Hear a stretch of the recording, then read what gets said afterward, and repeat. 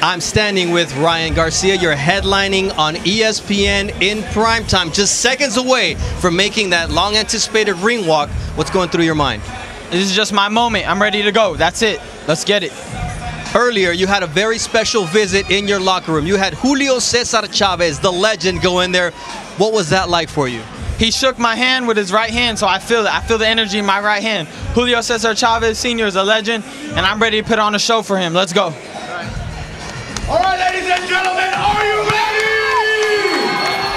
Make some noise for ESPN's 2017 Prospect of the Year from Victorville, California, the undefeated Flash, Ryan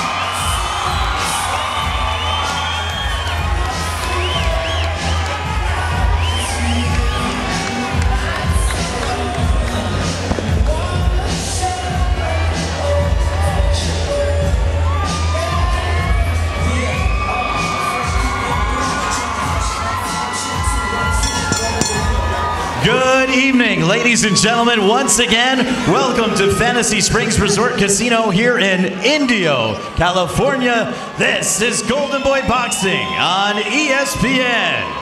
Our main event of the evening is scheduled for 10 rounds and will be contested for the Junior NABF Super Featherweight Championship. It's brought to you by Oscar De La Hoya's Golden Boy Promotions and presented by Tecate, the official beer of boxing, Hennessy, Never Stop, Never Settle, and Wad Gear. The main event is sanctioned by the California State Athletic Commission. The chairman is John Cavelli. The executive officer is Andy Foster. It's also sanctioned by the NABF. The president is Craig Hubble.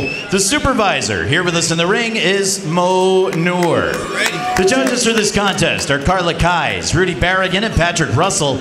And controlling the action at the sound of the bell, the referee in charge is Jerry Cantu.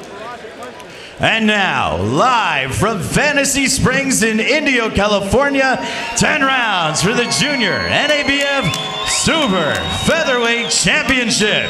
Ladies and gentlemen, it's go time! Introducing first the challenger fighting out of the blue corner. He weighed in at 129 and one quarter pounds. He owns a veteran professional record consisting of 33 victories, 15 defeats, and three draws. 24 wins coming by way of knockout. Wearing black, trimmed with gold this evening, and hailing from Tijuana, Mexico. Appearing in his 52nd contest as a professional, ladies and gentlemen, please welcome Fernando Vargas. And ladies and gentlemen, his undefeated opponent across the ring weighed in at 129 and one half pounds. He is undefeated as a professional. 13 bouts, 13 victories, 12 coming by way of knockout. Wearing burgundy with gold and hailing from Victorville, California, the 2017 ESPN Prospect of the Year, the reigning, the defending Junior NABF Super Featherweight Champion, ladies and gentlemen, King Ry,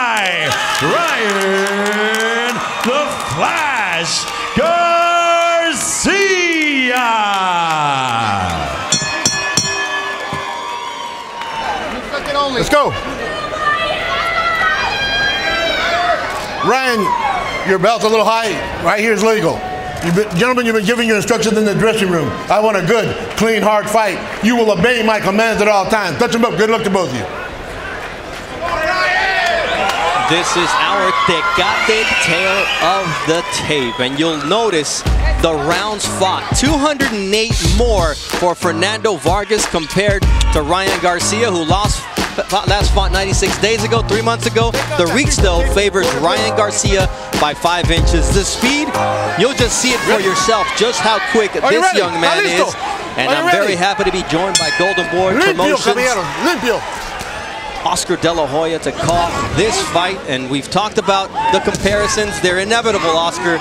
Everybody believes that this young man can be the next Golden Boy. And how ironic he's fighting a Fernando Vargas. um, I, I strongly feel that Ryan Garcia has uh, what it takes to be the uh, the next uh, the next superstar in boxing.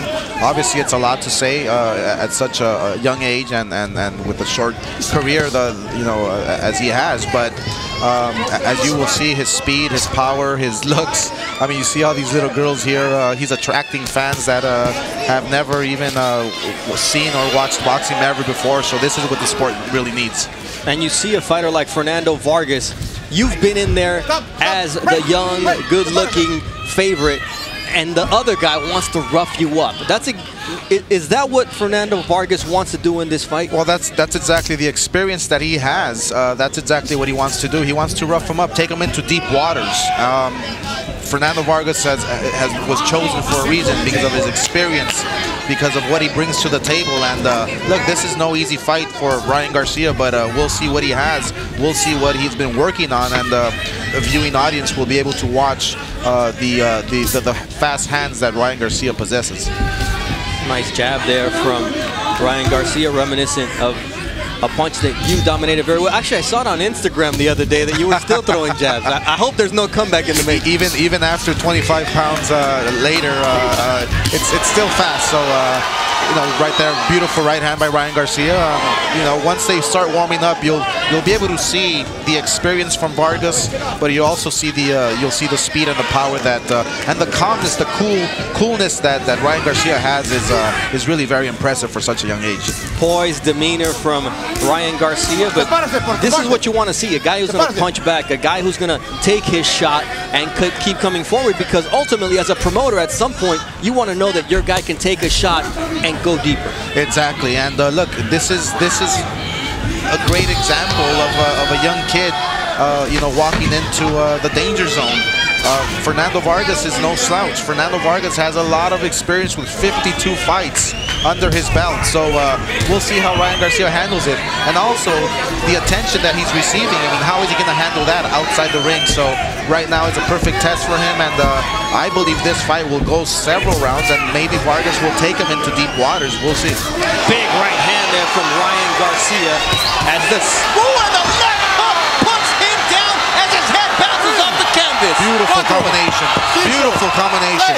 That's exactly what Ryan Garcia possesses his power. And the fight is over. What, what a statement Ryan Garcia made here, knocking out Fernando Vargas in the first round. Oscar De La Hoya said, I've said what I needed to say. Let me go up in the ring and congratulate this kid. That young lady says it best. What a finish from Ryan King Ry Garcia and Oscar De La Hoya, quick as ever, gets right up there. Two minutes, 55 seconds is all he needed in this first round. Wow. Ryan Garcia getting props from the promoter Oscar De La Hoya. As you see, Fernando Vargas loses 16th professional fight. Impressive. And there's the little dance from Ryan Garcia. He does it in the gym. He's got all kinds of energy. And I know that this is what it's all about. You want to cross over. You want to capture the imagination of everybody else. Here's that overhand right, and that's the left hook. That's the punch he said was going to end the fight. He says, as an amateur, it was always the left hand. But here as a pro, the right has been very impressive. The right set up the left hook, and Ryan Garcia, he knew it was over. It was one of many, and that was the combination that buckled the knees of Fernando Vargas, who went back, and there was nothing to do. That set it up. That was just a warning of what was yet to come from King Ryan Garcia, who says every time out, I want to be on SportsCenter top 10. You know what? He may have just earned his spot top 10 finishes. Wow, King Ryan Garcia improving to 14-0, 13 of those wins coming by way of knockout. Every time out, we start seeing different and better things from Ryan Garcia, and there's about 580,000 Instagram followers are celebrating right about now. Mark Fratto's in the center of the ring with the official time. Ladies and gentlemen, your official time, 2 minutes 55 seconds in round number one. Your winner by knockout, still undefeated and still the junior NABF champion from Victorville,